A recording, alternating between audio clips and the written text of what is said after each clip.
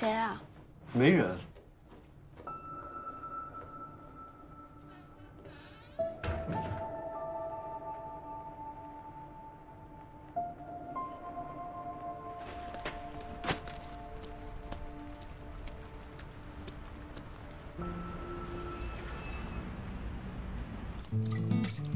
再拿个土黄。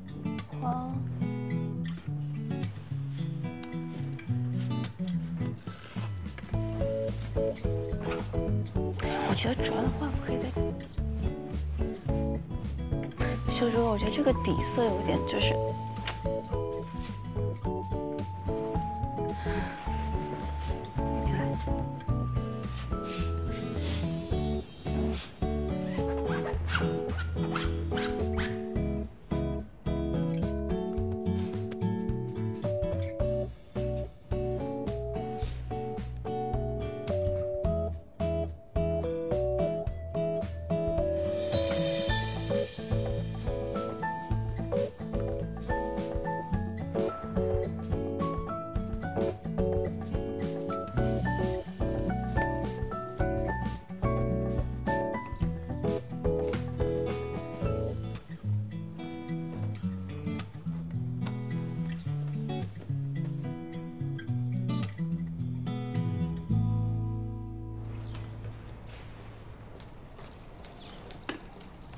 早啊，早。给。谢谢。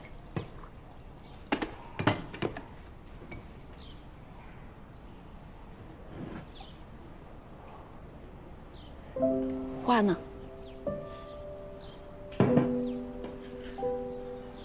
已经帮你存好了，谢谢啊。这个只是初稿，呃，你们拿去看看这个创意可不可以用，还有很多细节我都没有做呢。好，谢谢。啊这个是新的牙刷，还有毛巾，你拿去洗漱。我做完早餐，等你吃完之后，我送你去上班。不用了，我自己去就好。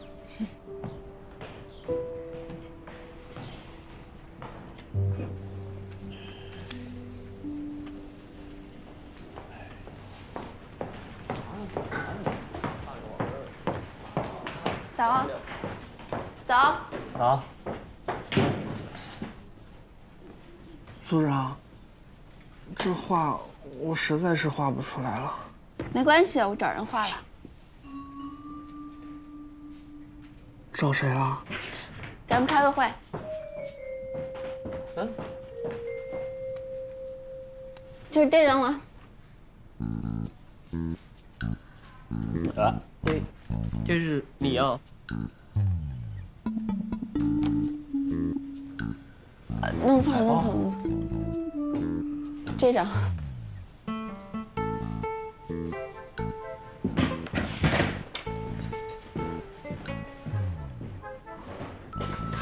厉害了！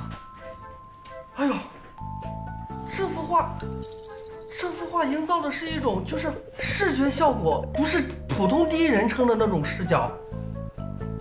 组长，呃这个老师是谁啊？你能带我去见见他吗？我一定好好的跟他请教请教。等会儿，你你先跟我说这画你花了多少钱？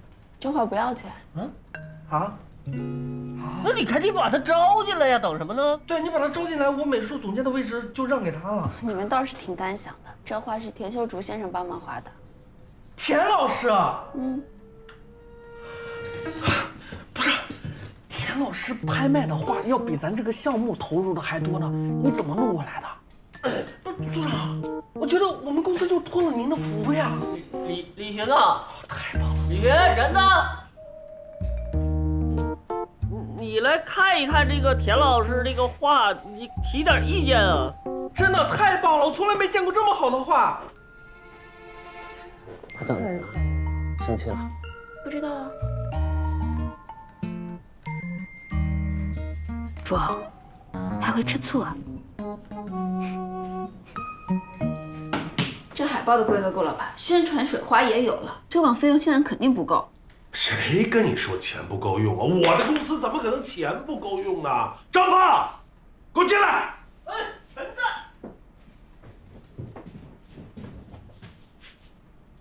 宣传费用怎么不够用啊？我这么大的公司怎么可能没钱呢？董总，我已经保证把每一分钱都花在刀刃上。您看啊，现在咱们账户上我能动的钱还有七万六千五百零一块八毛二，我准备全都放在推广上，绝对够用，绰绰有余。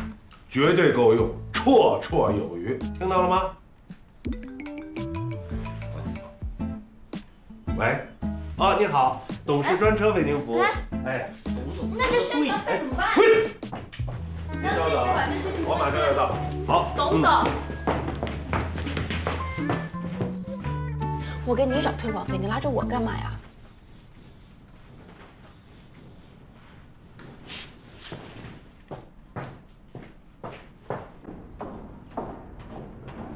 那董总也是要面子的人，你在外边不能给他留点脸。我是公司的财务，公司的情况我比你们多少都了解一点。这公司打创建以来就一直在亏损，现在是真没有你要的那个数。那把我的工资拿去。别闹，我说真的，我也说真的。首先，你那点工资杯水车薪；第二，你就真算有这一腔子热血，董总也不会同意。他还不同意。他说，一家公司如果要是靠缩减员工工资才能维持的话，那这公司没什么存在必要。这话是董思阳说的。大概意思吧。我当时我也润色了一些。可问题是，现在推广费只有这么一点，那怎么做接下来的宣传？你看我是这样想的啊，咱把咱们有限的钱花在刀刃上，等上线的当天，把所有的钱就砸在那个刷数据，刷数据。对，一下给他顶到榜首除。非你走大批量，后续还有其他营销方式跟上，否则没有用。我们又不需要做数据给甲方看。你看我殚精竭虑想个办法，他一下给我否了，这什么员工这是？你倒提出解决方案呢你？喂，修竹哥。哦，那我马上出来。这才是兄弟，有事真上。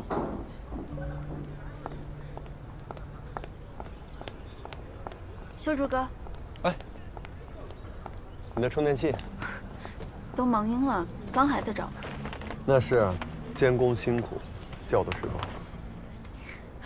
对了，你什么时候画的我那张画？就昨天晚上随手画的。画了也不告诉我，我还以为你只画了一张海报，刚刚弄了个乌龙。没什么误会吧？那倒没有。昨天看你睡觉的样子，我突然想起来，我们认识了那么久，我都没有给你画过一幅画。不过呢，记得啊，不管再累也要好好睡觉。哎，谢了啊。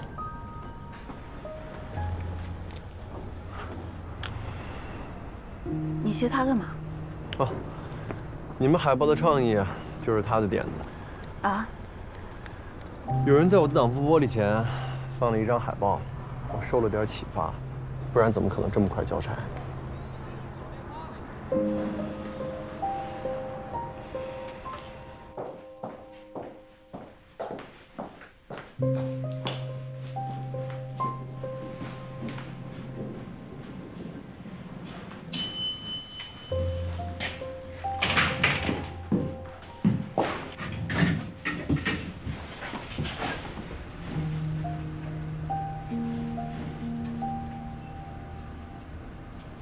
我就说修竹哥怎么这么快就开了项目的灵魂，原来是有外援啊，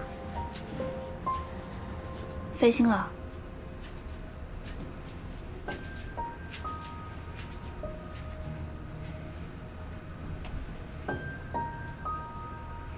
不过你怎么知道我家住哪？还知道他车牌号？昨天门铃是你按的吧？你有吧？哦。推广的事情你有想法吗？不过现在钱确实是太少了。再找那画画的呗，他喜欢你，什么忙都愿意帮，你有什么不好意思的？你还是真不挑啊！你什么意思啊？看来朱小姐挑男人的眼光还真是不怎么样。李寻，你差不多得了。他追你还是你追他呀？我说你差不多得了，你该不会是在吃醋吧？你怎么还那么自恋啊？那画画的跟你表过白了吗？不会又是你自己自作多情吧？你用不着这么阴阳怪气的侮辱别人吧？我就算跟他在一起了，那又怎么样？我欠你的吗？我是喜欢过你，那又怎么样？你去街上随便问问，谁还记得自己十八岁爱过的人啊？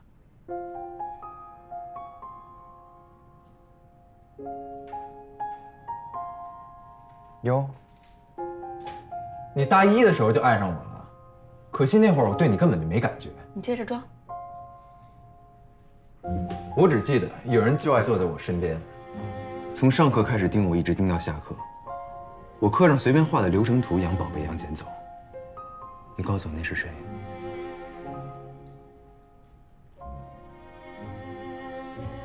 我还记得，有人为了认识我，在食堂故意偷吃我的饭。程序课总是最后一个走，就是为了看我升级作业。还花几百块钱做头发，来跟我表白，生怕我被人给抢走了。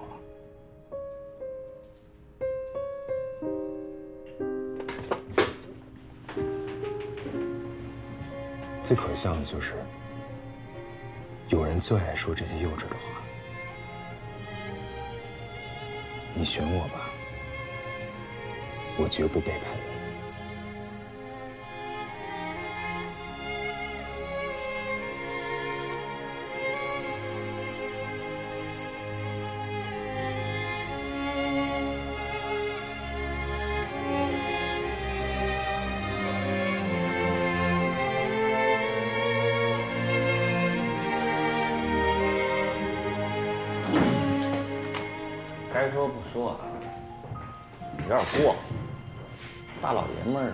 旧账啊？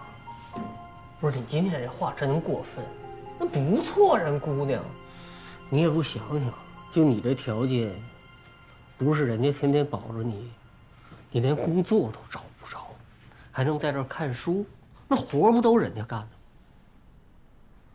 就这些都不说，就人家买买那一块显卡，够我们一月工资了。还真是，要谁送我一块泰坦，我直接挂倒在他身。你们都别再废话了，在干活。哎呀要是把他气走了，可就完蛋了。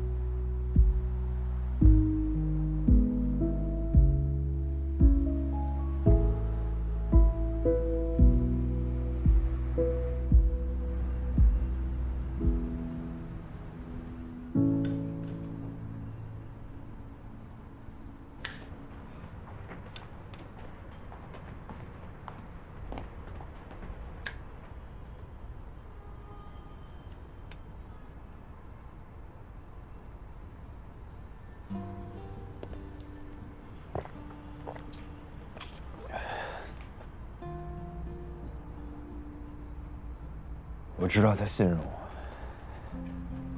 太信任我了。我随随便便一句话、一个动作，就能给他成倍的伤害。所以你是故意的？我太知道怎么刺痛他了。为什么？我觉得他在一点点回去，我不能给他更多希望了。你是不想给他希望，还是不想给你自己希望？把过去贬得一文不值，这样你就舒服了？还是失控成这样？我就问你一句，你还喜欢他吗？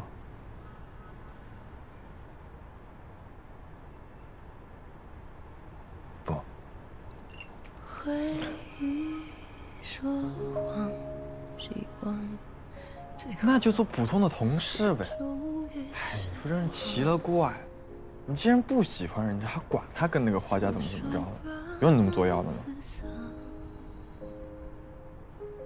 哎，这方面我对你真的是无话可说。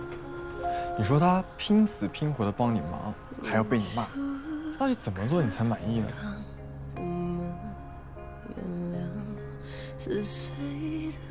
人家说的对，在某个地方我就是个不在乎任何人的混蛋。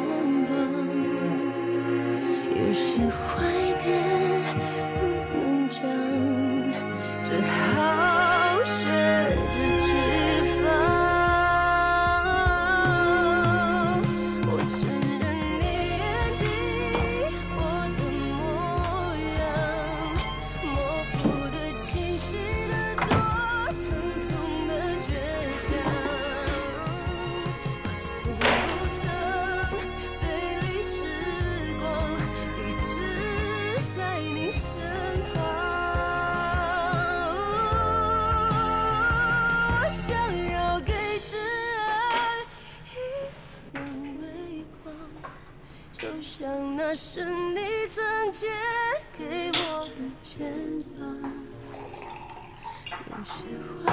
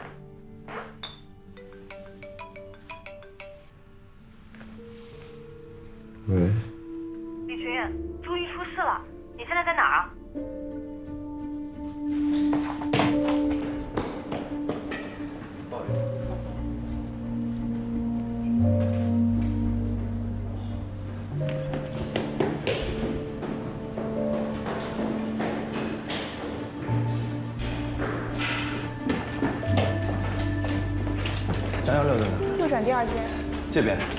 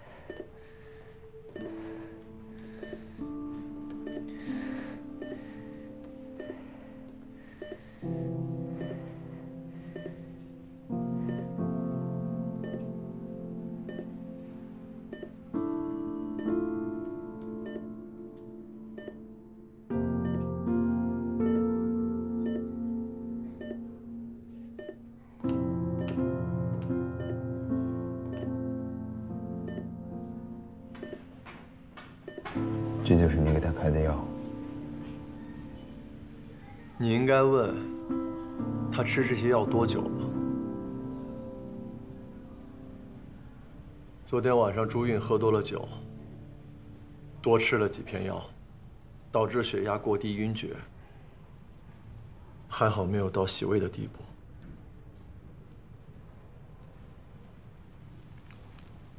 这些药有严重的副作用，可是他一吃就是三年。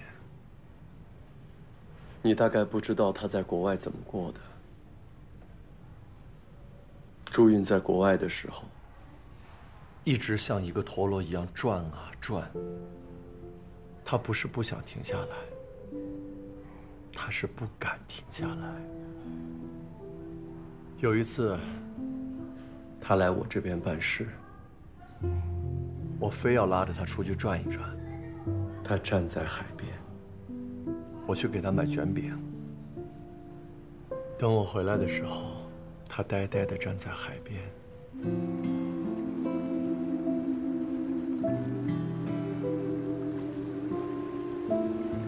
那一刻，你知道我在他眼睛里看到了什么吗？解脱。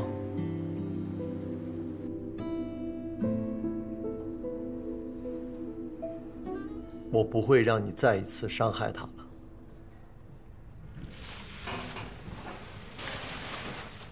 铁救主，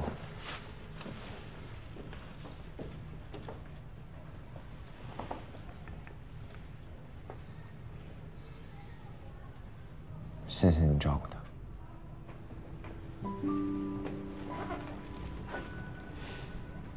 谢我？你以什么立场来谢我？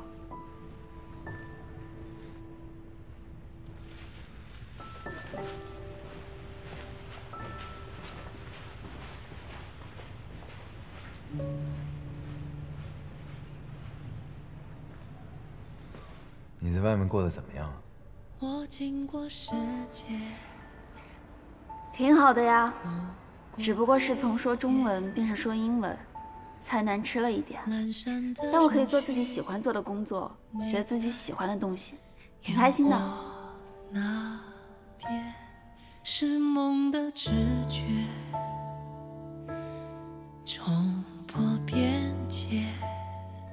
朱韵在国外的时候，一直像一个陀螺一样转啊转。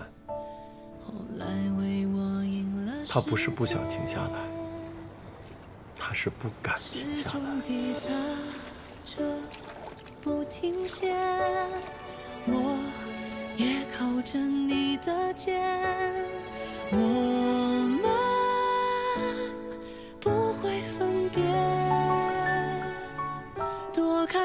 开喧嚣世界，陪着我，是你掌心的指点，撑起我勇敢向前。像黑夜燃感觉怎么起的样？火焰。好像给你喝点水啊。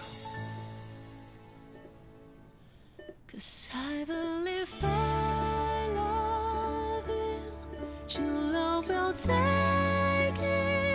李学吗？在你身边的是我，是他，郁闷把他叫进来。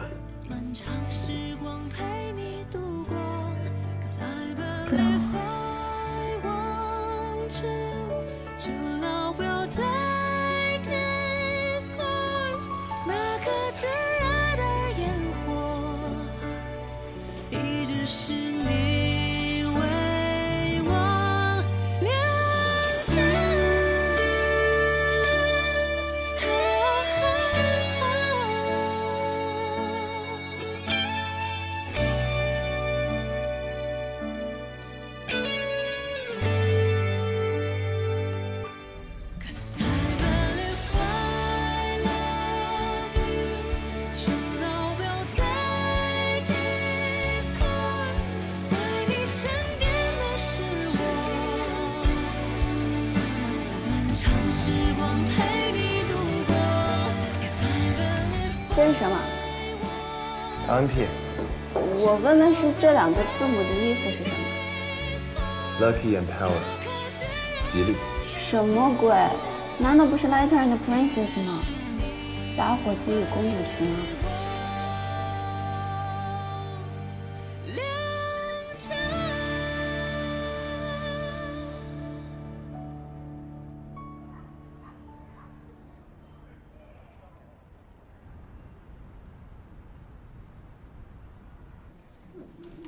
对比起来，《无敌武将》比较偏小众，典型的赚得来口碑赚不了钱。他们内容确实做的还算用心，尤其是剧情设计的巧妙，让玩家很有代入感。情节方面明显是经过考究的，不过这也是把双刃剑，无形之间设立了一道门槛，那些不爱动脑子的快餐玩家是不愿意买账的。所以说，他们这游戏有点吃力不讨好。对，我们的明显更好上手，画面也比他们精致的多，所以更容易营销出圈。什么时候能够上线？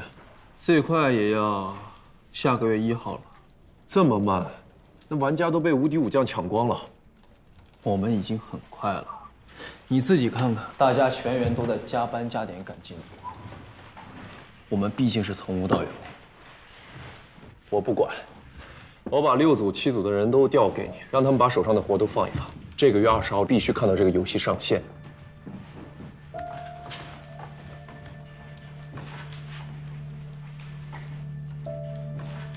老高，六组和七组手上的项目马上就收尾了，那个游戏可比什么七国争霸有前景多了。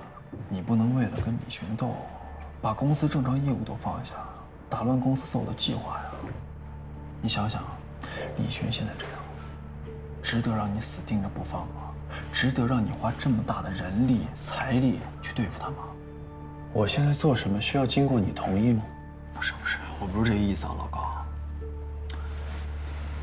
你听我说，咱们公司现在最大的目标是什么？不就是为了让公司上市吗？啊？等咱们公司上了市，李寻他算个什么呀？他花八辈子都够不着咱们的。所以要我说呀，咱们现在就先把他按住就行。我可以立马就给游戏网站打电话，把他们公司所有的游戏全部下架。你别忘了，无敌武将十八号上线，按我说的做。嗯，是老高，你可以下班了。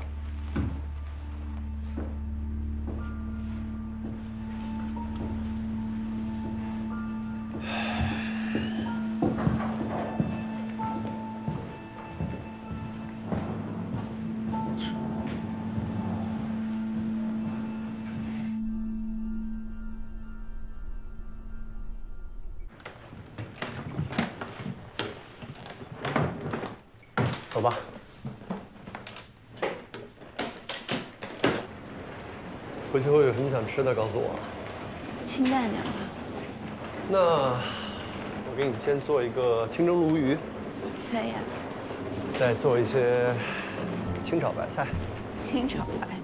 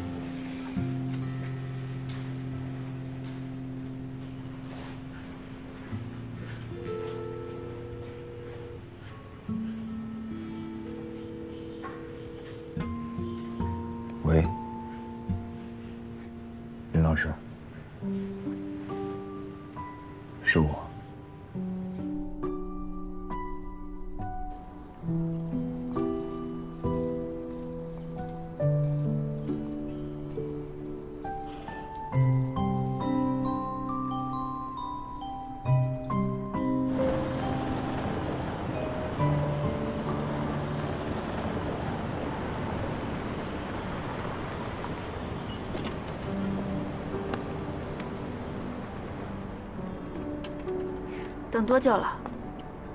半天吧。也就十分钟吧。咱俩是不是不互怼就不能好好说话了？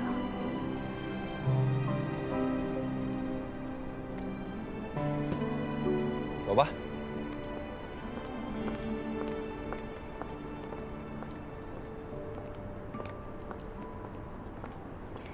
亏你想到找赵老师，毕业以后我就没有联系过林老师，都不知道师母成了微博著名的历史段子手。赵老师本来就是历史系教授，很多人都不知道他跟林老师是一家人。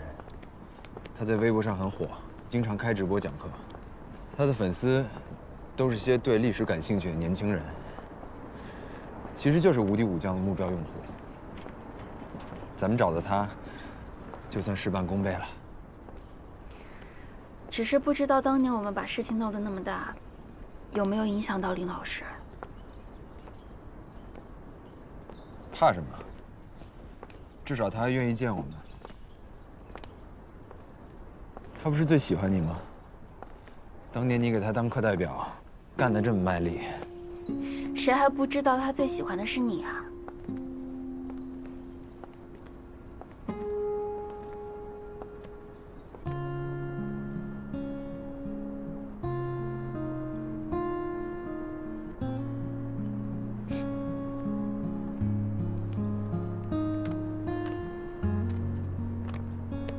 老师，哎，真是你们俩呀！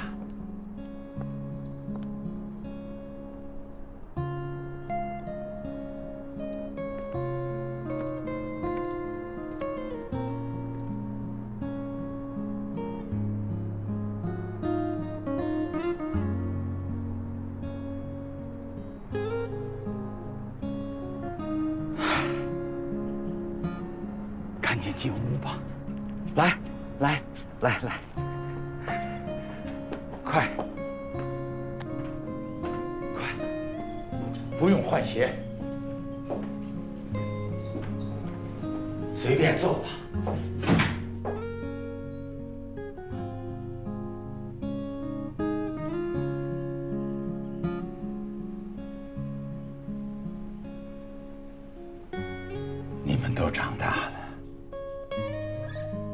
老师，你还一点都没变。老了，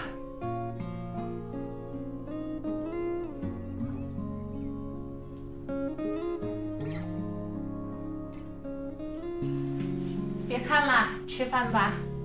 啊，快快快，谢谢师母。谢谢师母，快坐。哎呦你们林老师啊，从那天接完电话就找不着北了。你们再不来，我要把他送医院去了。坐。好喝吗，粥？嗯，好喝。比起我在监狱里吃的粥，味道好多了。嗨，你倒是比以前瘦了。是。其实里面吃的挺好的，早晚都有粥，嗯，中午两菜一汤，荤素都有。嚯！一开始觉得吃的不错，但时间长了就吃不惯了，就像吃咱们学校食堂一样。啊？其实我发现学校和监狱没什么不一样啊。你，你把我们南湖大学比作监狱了，那我们这做老师的是什么？是狱警啊？您是我狱友。狱狱友。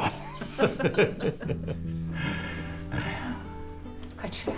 哎，你怎么不喝粥啊？有事儿啊？哦，对，确实有件事儿。说，我们最近开发了一款游戏，是历史类的，想请师母指点指点。没问题。哟，领导，行吗？不行。没问题没问题。那你们聊我俩进去说吧。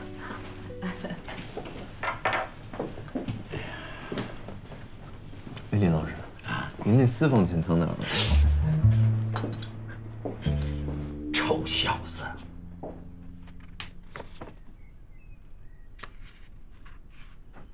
不过你们公司规模还是小了一些。小公司才有意思。你还和过去一样喜欢标新立异。不过工作可是大事儿。这样吧，我这儿有一些大的公司，还有一些科研单位、研究所。不用麻烦了，老师。我在这家公司挺好的。那我想问你，公司的其他同事对你怎么样？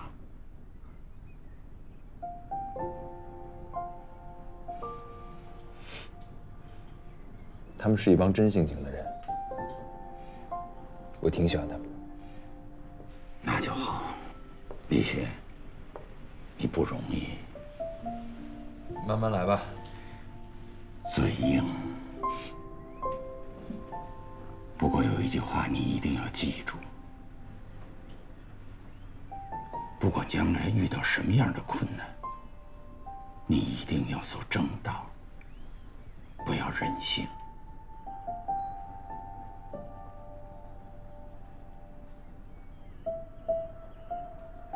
要再糟蹋自己了。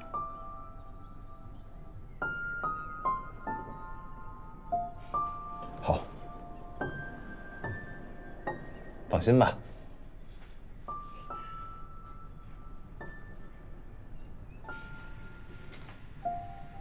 朱韵，这个游戏的背景是战国时代，对，具体一点呢？开篇设定在公元前二三九年。哦，秦王正是亲政，是。为什么选这时候开篇呢？我们设定的第一场重要战役是秦王对付嫪毐叛军。这场战役以后，秦王就彻底拔出了吕不韦这根眼中钉，开始了扶民六国的征程。我们觉得这是个不错的开始。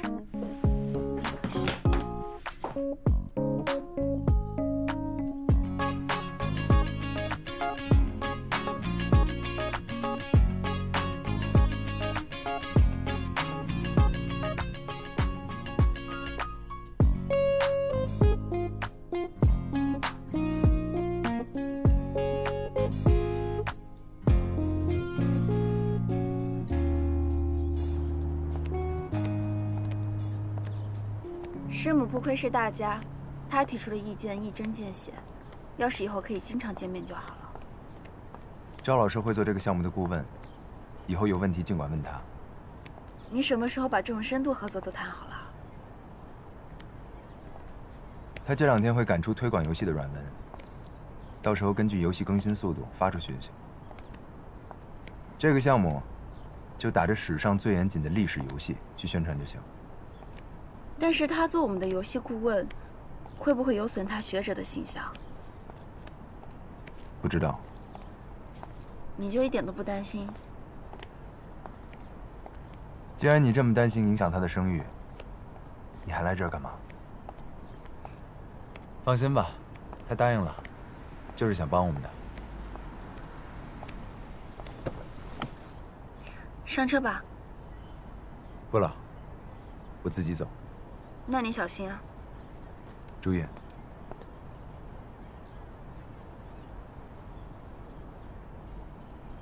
对不起。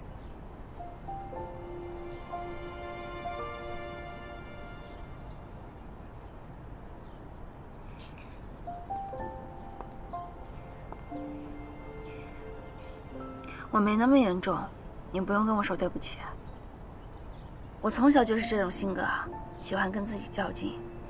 吃药可以缓解焦虑，你不用那么在意。以前的事情，我也欠你一句对不起。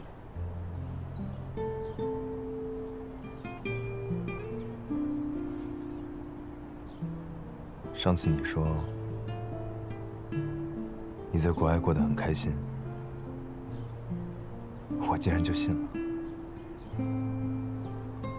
我也没仔细想过，你这些年是怎么过的。你还会有负罪感啊？你比我勇敢多了。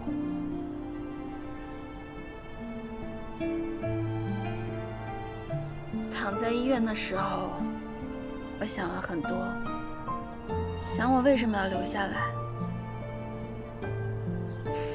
以前我很怕去想这些，我也很抗拒提醒自己，你曾经对我多么重要。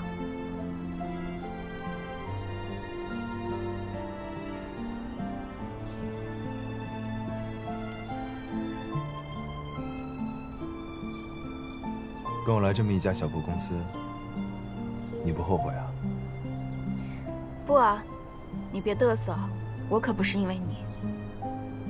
其实我很喜欢飞扬的，你看小健，虽然他的图画得很生涩，但是为了画概念海报，他头发都要薅光了。还有赵腾，刚开始给他看我的游戏策划案的时候，他眼睛都要瞪出来了。后来我们一起拿开篇战役，他眼睛瞬间就亮了。飞扬是小，但是每个人都有一股力量。就算一个再笨的东西，每天都变聪明一点，也会让我们惊喜的。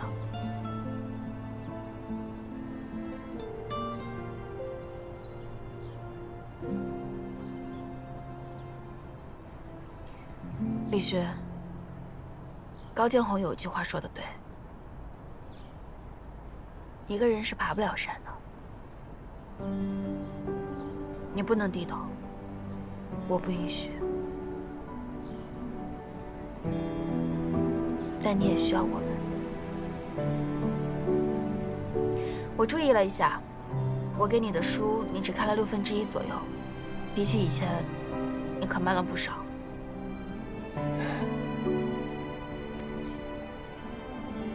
终于给你机会踩在我头上了。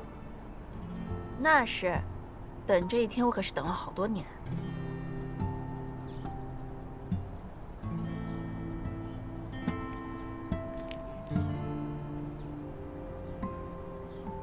普通同事，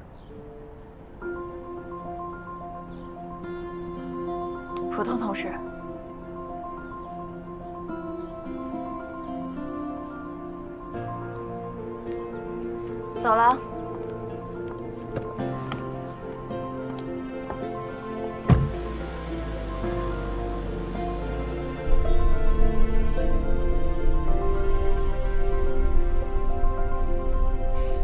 羡慕这人，真是从不回头。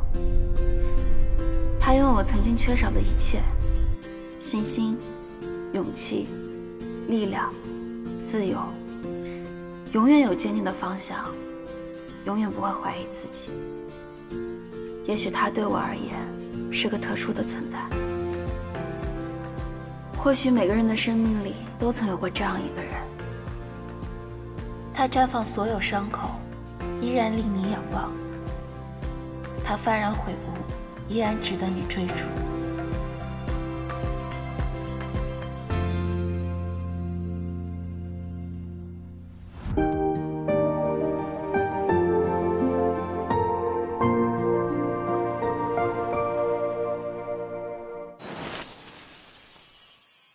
我就是要打得他翻不了身，我要让他知道现在的游戏市场是 LP 的。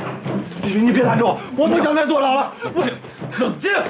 非法入侵计算机系统，要被判几年啊？李旭，你看看你身边的人，你还有什么可留恋的？冲破边界，终于的一夜。蔓延，赢了世界，始终抵达着不停歇。我也靠着你的肩，我们不会分别，躲开喧嚣世界，陪着我。是你掌心的支点，撑起我勇敢向前，像黑夜燃起的火焰。